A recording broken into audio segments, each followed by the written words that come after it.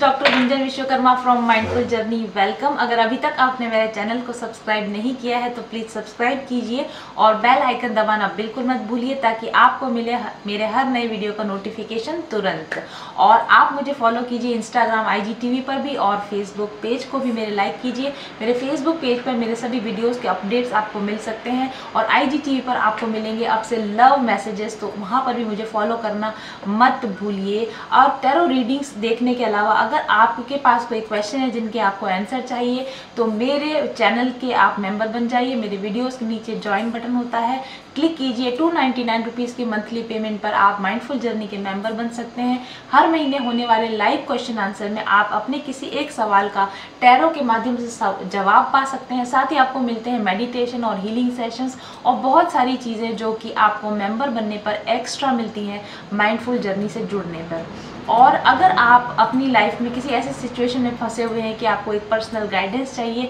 या आप जानना चाहते हैं कि इस सिचुएशन में आपको क्या कदम उठाने चाहिए तो बुक कीजिए मेरे साथ एक पर्सनल रीडिंग आज ही। व्हाट्सएप कीजिए मुझे seven four two four eight three zero three double zero पर और अपने लिए पर्सनल गाइडेंस बुक करवाइए। तो चलिए आज हम बात करेंगे वृश्चिक राशि वाले लोगों के बारे में, यानी स्कॉर्पियो साइन के बारे में क्या एनर्जीज निकल कर आती है, पर उसके पहले हम थोड़ा सा पीप इन करेंगे कि वृश्चिक राशि के लोग कैसे होते हैं। तो वृश्चिक राशि, यानी स्कॉर्पियो जो होते हैं, दिखने में काफ़ी आकर्षक होते हैं। इनका इनका जो स्वामी होता है, वो मंगल इनका स्वामी होता है। ये दिखने में काफ़ी आकर्षक होते हैं, दृढ़ इच्छा शक्ति इनके अंदर होती है, संकल्पवान होते हैं। यानी किसी चीज़ को अगर इन्होंने ठान लिया है कि ये करेंगे तो ये करके रहते हैं। साथ ही ये बुद्धिमान भी होते हैं, किसी अपने किसी नए आइडियाज़ पे काम करना तो काफ़ी बुद्धिमान तरह के ये लोग होते हैं। कल्पना शक्ति यानी कि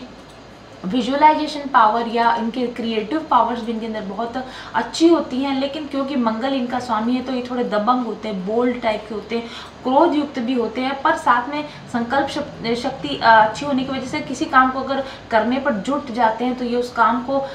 करके मानते हैं, उस काम पर डटे हुए रहते हैं। पर थोड़े से मंगल के स्वामी के प्रभाव की वजह से ये थोड़े से गुस्सैल होते हैं चिड़चिड़े भी हो सकते हैं और वैसे ये भावुक प्रेमी होते हैं भावुक होते हैं। आ, आ, बहुत अच्छे से लव रिलेशनशिप्स में ये बहुत अच्छे से अपने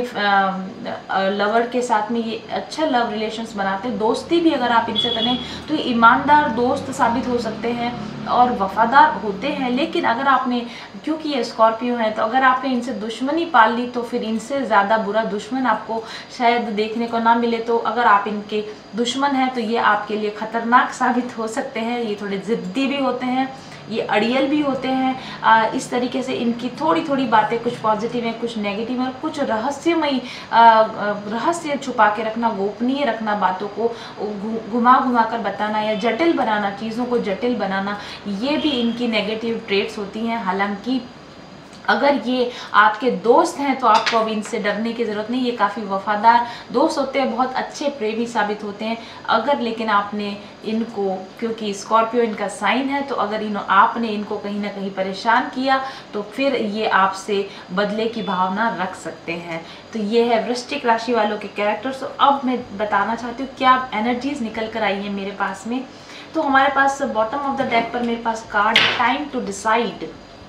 और उसके साथ बॉटम ऑफ़ द डेक पर मेरे पास मेजिशियन कार्ड है और उसके बाद मेरे पास है क्वीन ऑफ़ कप्स कार्ड तो जहाँ तक मुझे ऐसा लगता है कि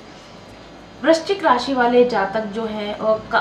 किसी न किसी तरह के लव रिलेशन में हैं उनको किसी से प्यार है या वो किसी को प्यार करते हैं या उनको कोई बहुत गहराई से प्यार करता है। They are deep they are in deep love with someone और someone is in deep love with them लेकिन और आप इस प्यार में कुछ अच्छा मैनिफेस्ट भी करना चाहते हैं आप इस प्यार को किसी लेवल पर ले जाना भी चाहते हैं आप इस प्यार को अपनी ज़िंदगी में पाना भी चाहते हैं आ, और अगर आप चाहें अगर आप दृढ़ निश्चय कर लें अगर आप डिटरमाइन कर लें कि मुझे ये लव मेरी लाइफ में चाहिए तो आपको मिल भी सकता है। लेकिन कहीं ना कहीं आप क्रॉस रोड्स पर हैं क्योंकि हर तरह की पावर आपके हाथ में मेजिशियन कार्ड है हमारे पास तो अपनी लाइफ को किस दिशा में ले जाना है, किस दिशा में घुमाना है, ये पावर इस वक्त आपके हाथ में है। यानी आपको अपने प्यार को पाना है या नहीं पाना है, उस दिशा में बढ़ना है या नहीं बढ़ना है, ये चॉइस करना ये इस वक्त में आपके हाथ में है। और आई थिंक ये समय आप डिसाइड कर रहे हैं डिसीज़न लेना चाह रहे हैं कि आपको क्या डिसीज़न लेना चाहिए। अब मेरे हार्ट के अकॉर्डिंग में डिसीज़न लूँ या मेरे माइंड के अकॉर्डिंग में डिसीज़न लूँ। इस तरह के उलट फेयर में, इस तरह के माइंड सेट में इस वक्त में आप हैं और इसलिए आप इस वक्त में कोई भी डिसीज़न नहीं ले रहे हैं क्योंकि आप डिसीज़न ले नहीं पा रहे हैं। और आपके आपके ज़िंदगी में, आपके मन में क्योंकि कुछ ना कुछ रहस्य तो ज़रूर हैं जो आपने छुपा रखे हैं। ये रहस्य आपके किसी लव रिलेशन से रिलेटेड हो सकते हैं, आपके किसी अफेयर से रिलेटेड हो सकते हैं। और ऐसा भी हो सकता है कि सीक्रेटली आप अपने लवर से मिलने के लिए आप ट्रैवल करते हो या आप सीक्रेटली अपने इस लव रिलेशन के साथ आप चैटिंग करते हो। सीक्रेटली ये रिलेशनशिप आपका सीक्रेट है। That is that is what I want to say that is what my point is कि आपकी लाइफ में एक सीक्रेट लव रिलेशन है। और इस लव रिलेशन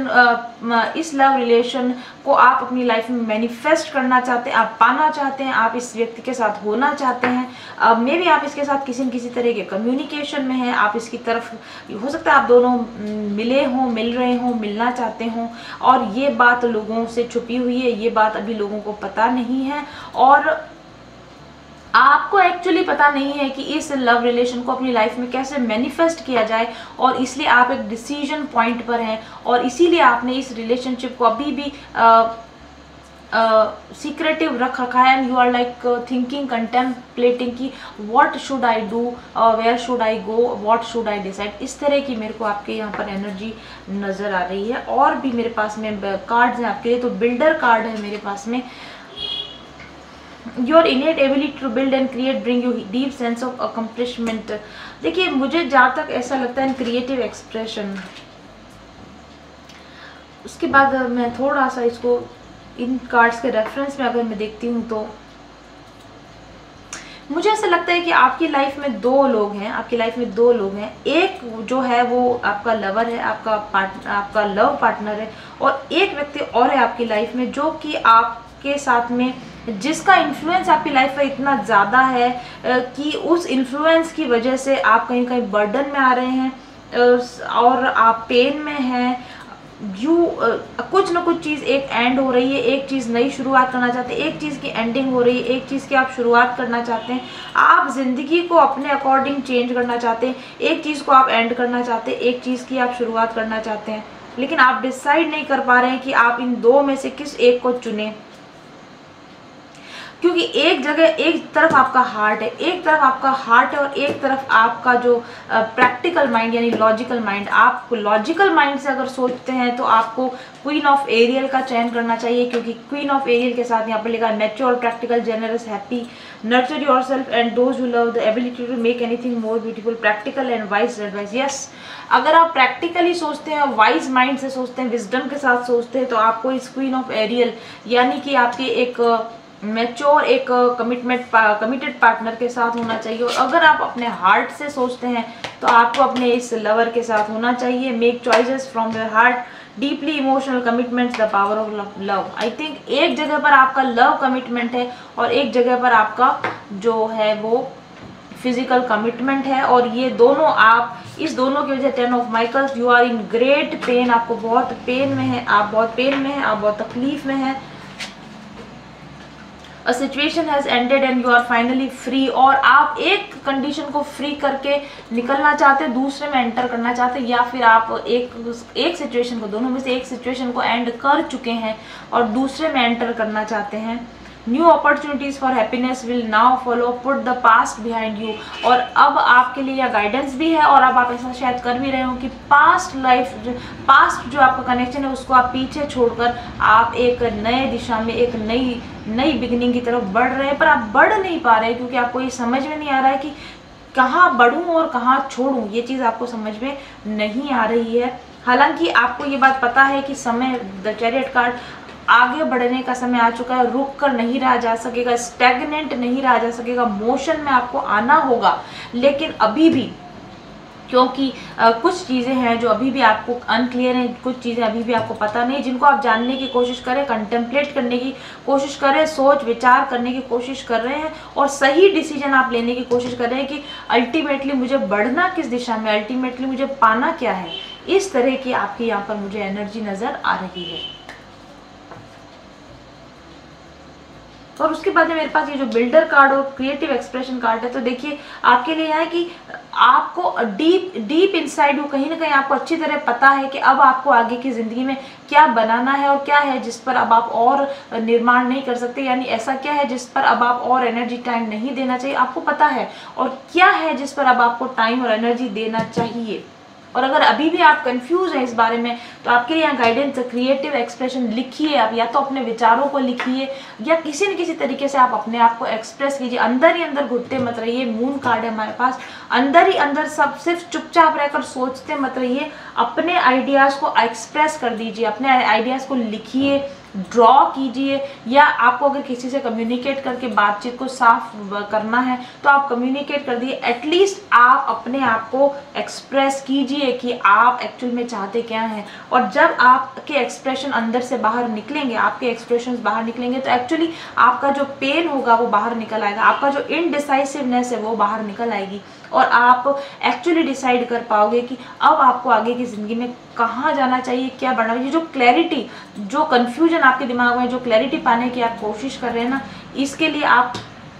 एक्सप्रेस करना शुरू कीजिए, आप लिखना शुरू कीजिए, या फिर आप बोलना शुरू कीजिए कम्युनिकेट करना शुरू कीजिए तो आप डिसाइड कर पाएँगे कि एक्चुअल में आपको इस समय में करना क्या है। और आपके लिए जो गाइडेंस कार्ड है, मेरे पास में नोइंग कार्ड आया है तो जैसा मैंने आपको बोला, आप ऑलरेडी जानते हो कि सही क्या है और गलत क्या है। Within you reside great treasures, vast reserves of strength, courage, wisdom, compassion and love. Yes, आपके अंदर बहुत बड़ा खजाना छुपा हुआ है स्ट्रेंथ का करेज का विजडम का कंपैशन का और लव का और अगर आप विजडम के साथ काम लें अगर आप अपनी इनर नोइंग से पूछें कि एक्चुअल में आपको करना क्या चाहिए तो आपको सही रास्ता मिल जाएगा connect deeply with your breathing imagine you become your breath ये देखिए आपके लिए यहाँ पर ब्रीदिंग का कार्ड भी आया है। आप देख रहे हैं यहाँ पर ये बच्चा जो है ये मेडिटेशन कर यहाँ पर भी आपके लिए आया अगर आप कंफ्यूज हैं, अगर आपको समझ में नहीं आ रहा है कि आपको क्या करना चाहिए तो थोड़े समय के लिए अकेला बैठिए। अपनी ब्रीदिंग के साथ, अपनी श्वास के साथ ध्यान कीजिए, जिसको हम श्वास ध्यान कहते हैं। Allow thoughts to float in your mind and there is no need to connect to them just feel all being आपको कहा जा रहा है ऑब्ज़र्व कीजिए अपनी थॉट्स को। यहाँ पर भी यही है क्रिएटिव एक्सप्रेशन का भी यही मतलब जो भी थॉट्स आपके आ रहे हैं, उनको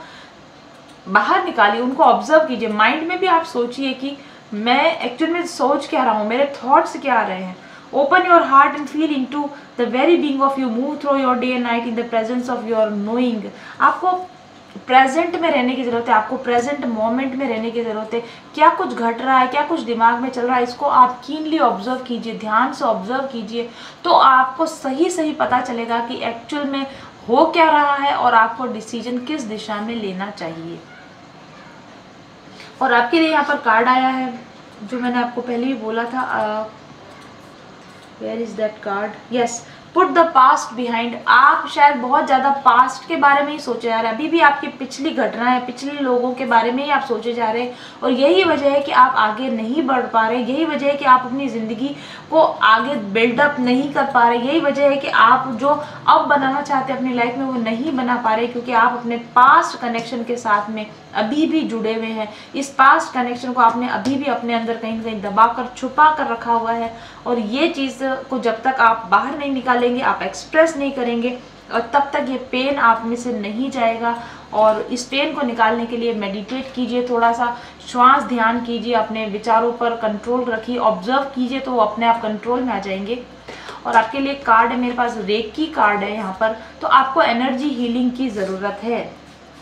क्योंकि जो भी आप में से, जो लोग पास्ट एनर्जीज में अभी भी घिरे हुए हैं और आप अपने आप को अपने पास्ट से रिलीज़ नहीं कर पा रहे हैं तो रेकी कीजिए, माने अपने ऊपर एनर्जी हीलिंग का काम कीजिए। ये वाला काम जो है मेडिटेशन ये भी एनर्जी हीलिंग का काम होता है। तो अगर आप अपनी ज़िंदगी में पॉजिटिवली आगे बढ़ना चाहते हैं क्लैरिटी चाहते हैं और डिसीज़न लेना चाहते हैं सही डिसीज़न लेना चाहते हैं तो आप मेडिटेट कीजिए और आप रेकी का भी सहारा ले सकते हैं ताकि आपकी और क्लिनजिंग हो सके और आपकी एनर्जी क्लीन हो सके